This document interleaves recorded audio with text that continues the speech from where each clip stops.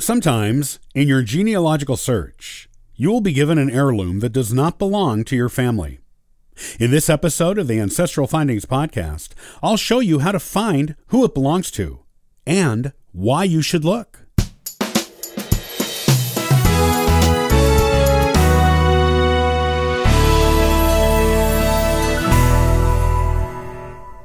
As a genealogist, your family and friends probably know you are a collector of all information and artifacts of a historical nature. It's just what we, as people with a passion for genealogy, do.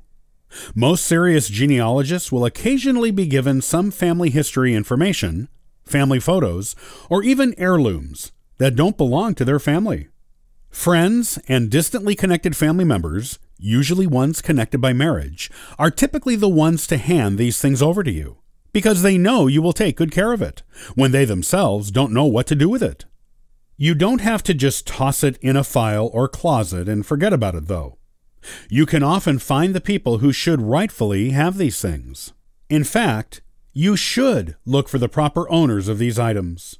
Repatriating homeless family information and heirlooms can be extremely rewarding, especially when the person or family the items belong to are excited and grateful to have them.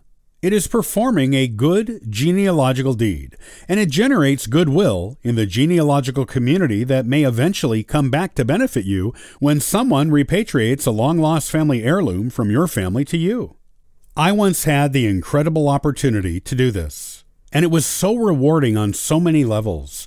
My great uncle, who was an uncle by marriage and was married to my grandmother's sister, was abandoned by his father when he was four years old, and by his mother when he was about eight years old. He never saw his dad again, and only saw his mother rarely. He and his sister, older brother, and identical twin brother were raised by their aunt and grandmother. His sister married late in life and never had kids. He and my great aunt were able to have kids, and his twin brother only had one child who did not have children. His older brother had one daughter, but died at the age of 22, when the daughter was only a year and a half old. The girl's mother took her out of the family, and my great uncle had no idea what happened to her. After my great aunt and great uncle died, I inherited a lot of their personal belongings, including photos of the older brother who died, a wallet that belonged to him, and a Bible with his name inscribed on the first page as a gift to him when he was 12 years old. I didn't know what to do with these things, but kept them because I thought they would mean something to someone one day, and I didn't want my great uncle's brother to be forgotten. A couple of years later, a woman in her early 70s wrote to the church in my hometown where my great aunt and great uncle had been members. She was looking for information on her father's family, her first name and her father's name indicated she was the missing daughter, and the church forwarded the letter to me, knowing I was the genealogist for the family. I got in touch with her, confirmed she was the missing daughter, and sent her everything I had that belonged to the father she did not remember, including the photos of him and photos of others on his side of the family. She sent me flowers and called me crying with happiness. She was in her 70s and had never even seen a photo of her father, and the photos of other family members I sent her let her know where she got her looks, as she looked nothing like her mother, but just like her father's side of the family. She started a box of things I sent her to hand down to her seven children, who were single handedly carrying on this family line. Not only was she thrilled, but she and I became good friends, and I helped her find, when both of her paternal grandparents died, where they were buried, and what became of the fifth child her grandmother had after her divorce.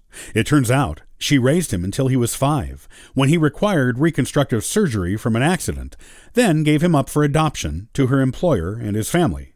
And I got in touch with the adoptive family, who confirmed it all.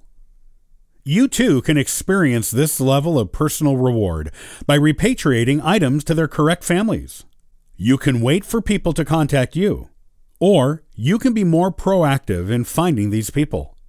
Some things you can do include putting notices on genealogical message boards, tracing the line of descent from the item's original owner to descendants who are alive today and contacting them, talking to people related to the person who gave you the item who will refer you to the other people, and so on until you find the rightful owners of the item.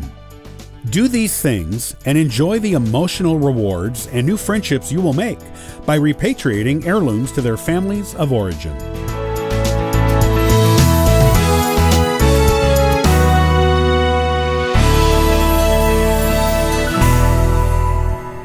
Have you used the World War I draft card collection yet to search your family tree? You should. In the next Ancestral Findings podcast, I'll give you some valuable information on researching the World War I draft card collection.